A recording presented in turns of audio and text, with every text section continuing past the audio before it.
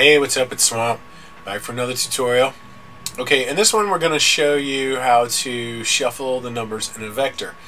I needed a vector that had the numbers 1 through 10, but I didn't want them in that order. I wanted them in different order every time I played the track, so I wrote this script to do that. So let me show you how this works. Okay, so here's the vector. This side over here is what sets the vector. Um, here's the vector. Here we have a set vector event, uh, a set value event, a variable, and a generic filter. Now, the set vector event, its index is using a variable, its value is using another variable over here, which I will show you in just a minute.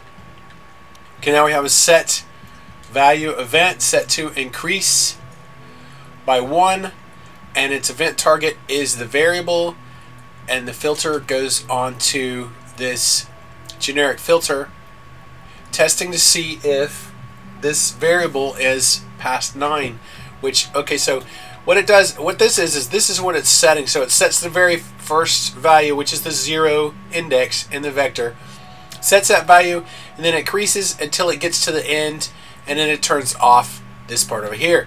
This part over here is powered by this interval trigger. This interval trigger is set to one one to have a tick every tick and it does not disable Alright, here I have it turned on with a state event. Now, right here I have a random data source. This is set from 1 to 10. These are the numbers that you want to be in the vector. Its interval is 1 because I want it to be picking fast. Alright, so its seed is set to an object info data source which is set to speed and I'm using the rider as the object. Now the reason that is is because uh, you need to reseed this every time you ride the track because you want it to pick different numbers. Okay, so here I have a set value event.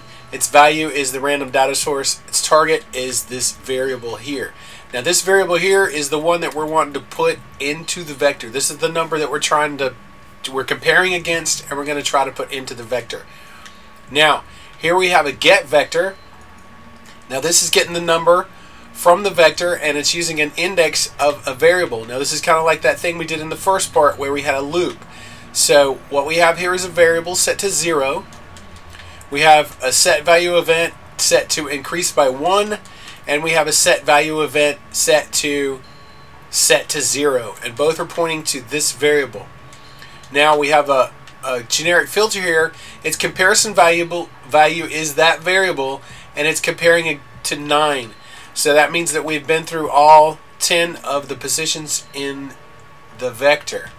Now, what happens here is this impulse goes to this uh, filter, and this filter looks to see if, now this is getting, the vector has, a, uh, has numbers of 0, so this first number is 0 at the index of 0, and this variable is 0, so this generic filter is seeing if those two values are equal, and they are equal. So it's going to set this variable to a new value according to this random data source.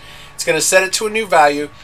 Then it goes through and it sets this variable to zero to start testing at the first position.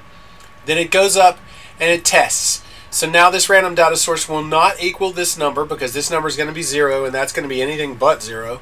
So it will not equal. So then if that's true, I mean, if it's false, if it does not equal, then it will go here on this false. It'll increase this number to 1, test to see if this number is greater than 9, and then go back and test those two values again to see if they equal each other. If they do not equal each other, it increases this to 2, make sure this is not 9, and continues on. If they do equal each other, then it resets this number and starts this back at 0 and starts testing again. Now, it, this is a loop right here to test to see if that number exists in the in the vector. If it does not exist, meaning this is true, this is greater than 9, so it's gone through the whole vector and hasn't found that number, then it will then set that number at this index, which would be 0, so that would be the first number. Then it will increase this number to go to 1, go up here, make sure that this number is not 9, meaning it's finished populating the vector. If it has, if it has not, then it goes here and it sets this to zero to start the loop over again to test again. Now, that's pretty much it. Just loops through the whole vector, trying different random numbers until it fills it up. And once it's full, then this number is going to be greater than 9. So it goes up and it turns off this interval trigger. Now let me show you what it does. Now I have, I'm showing the icons so we can see. I have a bunch of get vector events which show you 2, 4, 3, 5, 6, 7, 8, 10, 1, 9. Let's write it again. 7, 5, 9, 2, 10, 8, 1, 3, 6, 4. Write it again. So you see it's working just like I want it to. It's shuffling those 10 numbers within the vector. Now once again we're using these lights, these spheres, I'm lighting them up from using that vector like we did in the first part. And then I also have the explosions down here at the end that will go off in a different order because the vector is different every time. So that's pretty much it. That's how you do it. I hope you guys learned something. Uh, I know it's fairly difficult. Let me show you this screen again so you can just kind of look at this layout and see how this works. If I can find it. Okay. Alright, so that's pretty much it. It's um it's like I said, it's just a loop. It loops through the vector to make sure that those random numbers don't exist. And if they don't exist, then it puts them in and it eventually fills up the whole vector. So that's how you do it. Thanks for watching and have a good time.